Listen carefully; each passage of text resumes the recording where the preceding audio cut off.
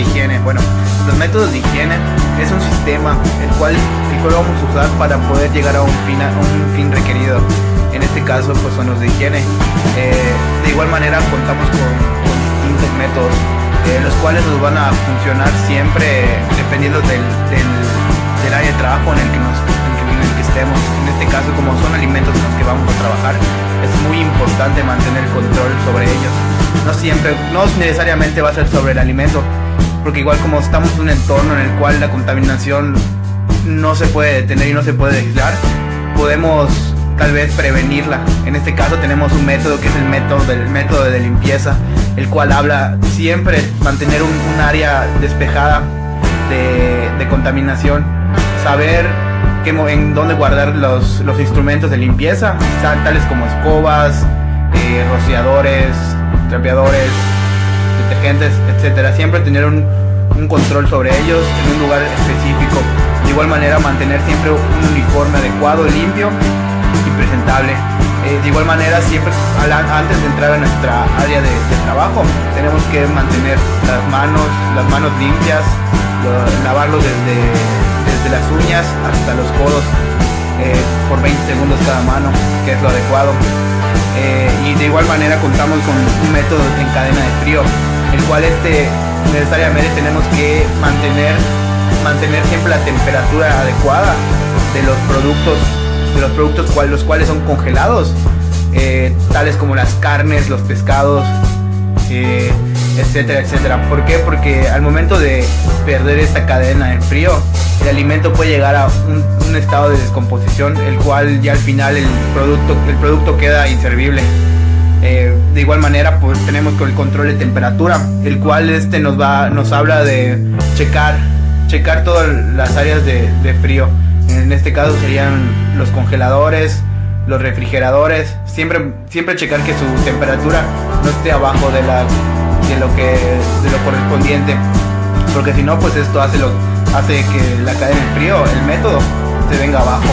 Ya con, dando con la primera que es la, ya la descomposición de todos los alimentos. Eh, de igual manera está el, método del almacenamiento, el cual es el que nos habla sobre el uso adecuado de cada uno de los lugares en los cuales vamos a, meter sobre nuestro, como, como cocineros o como estudiantes de la, de carrera, que usar este método para poder saber dónde vamos a almacenar todos nuestros ingredientes, todas nuestras carnes, los pescados, las verduras, tener siempre un, un lugar cor correcto de, los productos, al igual que cuando vamos a manejar las carnes crudas con carnes ya cocidas, no ver que estos lleguen a, a, un tacto porque se pueden llegar a descomponer. Eh, de igual manera tenemos un método que es el método del servicio de los alimentos. Ya este método pues viene más como para los, las personas que tienen un establecimiento de comida. Eh, no necesariamente puede ser el de comida, también puede ser como las personas que se encargan de, de, controlar los alimentos o de, manejarlos los cuales son los que están vendiendo, se puede decir, como en las carnicerías, en los empaquetados, en los enlatados.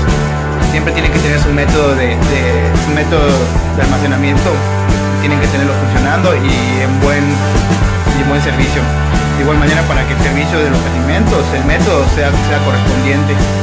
Checar que todas las personas tengan un control en su higiene, que tengan su tapabocas, que tengan sus guantes en este caso, que tengan sus correas en el cabello para, para evitar la, la, contaminación.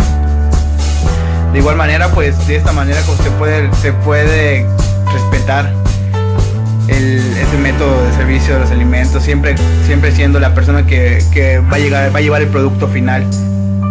Bueno, para concluir, los métodos de higiene son, van a ser muy importantes a la hora de, de, de, poder practicarlo siempre está dependiendo del área en la que uno se vaya a encontrar, sea un trabajador o, una persona que va a dedicarse a hacer los, productos alimenticios de esta manera para poder brindar un producto en perfectas condiciones al consumidor tener ningún problema con la higiene.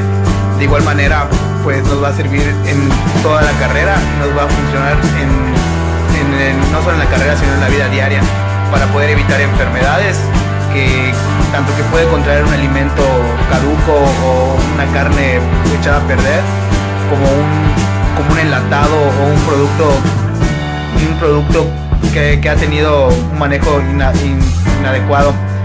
Y pues en este caso sería todo lo que...